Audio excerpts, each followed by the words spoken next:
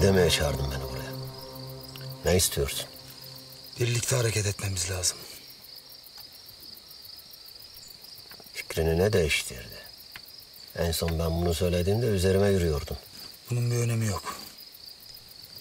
Bana kalırsa en önemlisi bu. Fikrini değiştirdiysen bir konuda gerçeği görmüş olman gerekiyor. Nedir o gerçek? Bak Miran Efendi. Eğer birlikte hareket edeceksek benden hiçbir şey gizlemeyeceksin. Şimdi söyle bana. Sen haklıydın dedin. Niye? Reyyan'ı korumak için her türlü ihtimali değerlendirmeye çalışıyorum. Hepsi bu. Gerçeği birlikte öğreneceğiz işte. Birlikte hareket edeceğiz ki vakit kaybetmeyelim. Şimdi söyle. Var mısın?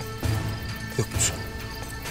Sen gerçekten benimle birlikte hareket etmek mi istiyorsun yoksa ne öğrendiğimi mi merak ediyorsun?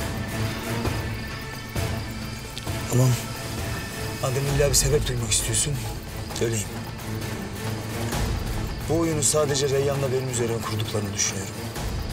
Yalnızken arabamı, Reyyan'layken evimi tarıyorlar ama öldürmüyorlar. Adam kaçırıyorlar, karşılık istemiyorlar. Ölürsün diye tehdit edip yine bir karşılık istemiyorlar. Reyyan'ı koruyabilmem için bunların ne istediğini öğrenmek zorundayım. Zorundayız. Sonunda dediğime geldin. Ben bildiklerimi seninle paylaşacağım. Sen de öğrendiklerini benimle paylaşacaksın. Şu hurdacıdaki adam. Şimdilik en büyük hedef o. Eğer bildiği bir şey olmasaydı bizden kaçmazdı. Belki de işlerinden biriydi bilmiyorum ama o adamı mutlaka bulmak zorundayız. Bununla ilgili şehrin her yerine adam gönderildi. Bulmadan da geri dönmeyecekler. Ben de eli kolu uzun ahbaplara haber gönderdim. Ama onlardan haber gelene kadar önce benzinliğe gittim. Sonra da köye. Ama sen zaten benden önce gitmişsin oralara. Oradakiler söylediler. Da bir şey yok. Araştırmaya devam edeceğim. Dişe dokunur bir şey bulursam da sana söyleyeceğim. Gördüğüm kadarıyla sen de bulduklarından beni haberdar edeceksin. He?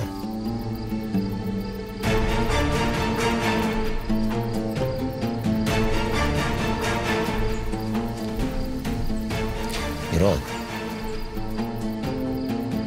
Reyyan için elinden geleni yapacağını biliyorum. Ama daha fazlasını yap. Sen soyundakilere sahip çık yeter. Sen de babaannene sahip çıkmayı sakın unutma.